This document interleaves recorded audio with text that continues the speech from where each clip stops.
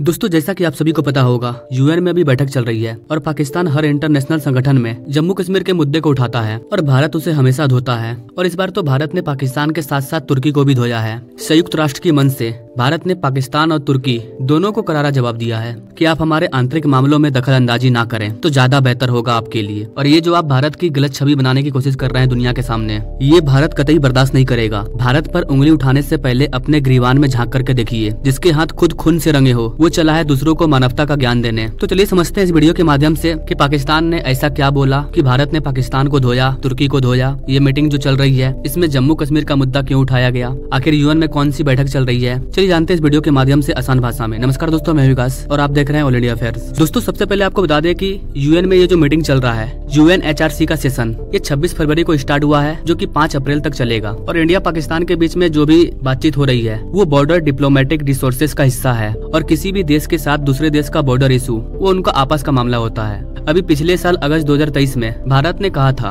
कि हमें एक ऐसे इन्वायरमेंट को क्रिएट करना है, जो कि टेररिज्म से मुक्त हो। हम पाकिस्तान के साथ झगड़ा नहीं करना चाहते हैं। हमें अपना ग्रो करना है, आप अपना ग्रो कीजिए। लेकिन दुर्भाग्य की बात है कि पाकिस्तान रेडी नहीं है। ये कितना भी मार खाए, सुधरने वाला नहीं है। जो पाकिस्तान भारत ने इसे दिया है, उसको तो ये सही से संभाल नहीं पा रहा है। और जम्मू कश्मीर के मुद्दे को लेकर के हवा में उड़ रहा है। पहले जो मिला है, जितनी आबादी है, जितने लोग हैं, पहले उसे तो कंट्रोल कर लो। गरीबी में उनका देश डूबते जा रहा है। भारत ने क्लियर कहा कि हमारे जो भी पड़ोसी देश हैं हम वहाँ पर टेररिज्म मुक्त इन्वायरमेंट को चाहते हैं। तभी हमारा किसी भी पड़ोसी देश के साथ रिलेशनशिप बेटर होगा। अदरवाइज़ आप सोचिएगा कि बॉर्डर पर आप धांधली कीजिएगा और भारत आपके गुरो में सपोर्ट करेगा।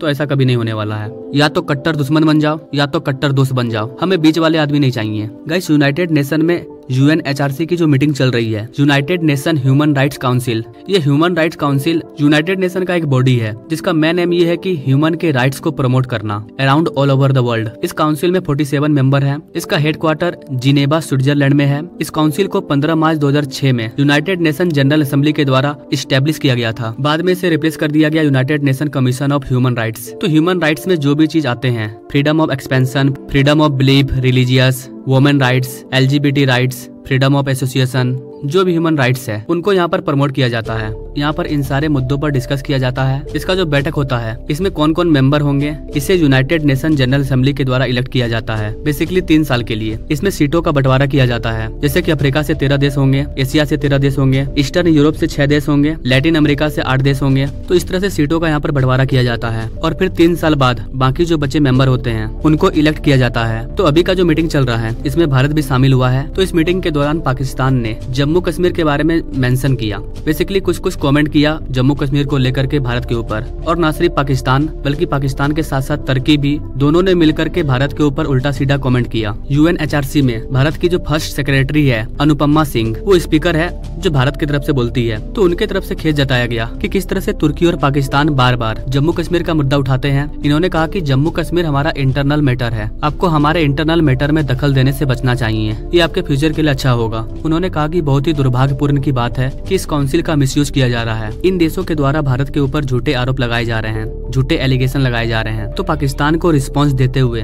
भारत के द्वारा मेनली तीन चीज़ों को हाईलाइटेड किया गया। सबसे पहले भारत के द्वारा ये कहा गया की जम्मू कश्मीर, लद्दाख, ये भारत का इंटरनल पार्ट है। ये भारत का एक राज है, जिसको हमसे कोई दूर नहीं कर सकता है। और भारत सरकार अपने संवैधानिक तरीके से जो भी कर रही है, ये हमारे द्वारा किया जा रहा है, ये हमारा इंटरनल मैटर है। तो आप बिल्कुल भी इसमें दखल अंदाजी ना करें। दूसरी चीज़, जो खुद सिस्टमेटिक प्रक्यूशन को इंस्टूलाइजेशन करता है। मतलब जो देश अपने ही अल्पसंख्यक लोगों को उत्पीड़न करता है, जहाँ पर खुद ह्यूमन राइट्स नहीं है, वो भारत के ऊपर कमेंट कर रहा है ह्यूमन राइट्स को लेकर के। पाकिस्तान जैसा देश भारत को ह्यूमन राइट्स सिखा रहा है। भारत दुनिया का सबसे बड़ा लोकतांत्रिक देश है, जहाँ पर अलग अलग धर्मों के लोग मिल करके रहते हैं। भारत में महिला हो, चाहे पुरुष हो, चाहे किसी भी जाति धर्म का लोग हो, सबको एक समान अधिकार प्राप्त है। इनफैक्ट यूएन में जो हमारी स्पीकर है, उनके द्वारा पाकिस्तान के एक इंसिडेंट को भी हाईलाइटेड किया गया। उन्होंने पाकिस्तान के जरन वाला इशू को हाईलाइटेड किया और उन्होंने बताया कि कैसे पाकिस्तान में जो ईसाई धर्म को मानने वाले जो अल्पसंख्यक लोग हैं, पाकिस्तान में अगस्त 2023 में 19 चर्चों को जला दिया गया था। इसके अलावा वहाँ के 89 क्रिश्चियन हाउस को भी जला दिया गया था।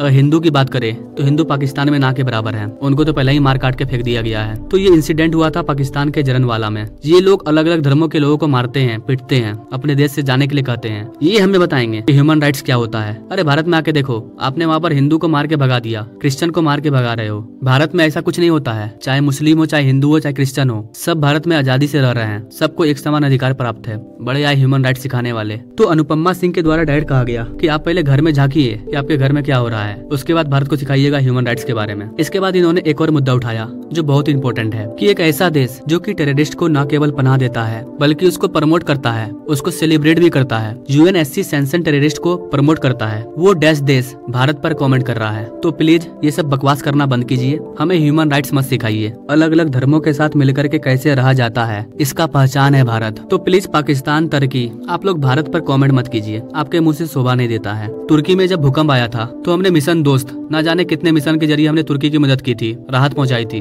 और वो भारत पे कमेंट कर रहा है ह्यूमन राइट्स के बारे में। तो भारत के द्वारा एक इंटरनेशनल मंच पर काफ़ी ज़्यादा और काफ़ी बड़ा भयानक वाला फटकार दिया गया है पाकिस्तान और तुर्की को। आई होप गाइस आपको ऑल चीज़ क्लियर हुआ होगा। वैसे गाइस आपको क्या लगता है? भारत ने जो पाकिस्तान को धोया है, क्या ये ठीक किया है? आप क्या सोचते हैं गाइस इस चीज़ को लेकर के? आप अपने राय कॉमेंट बॉक्स में ज़रूर दीजिए और ऐसे लेटेस्ट अपडेट के बारे में जानने के लिए हमारे चैनल से ज़रूर जुड़िए। Now thank you for watching मिलते हैं अगले वीडियो में। एक नई जानकारी के साथ। तब तक के लिए जय हिंद।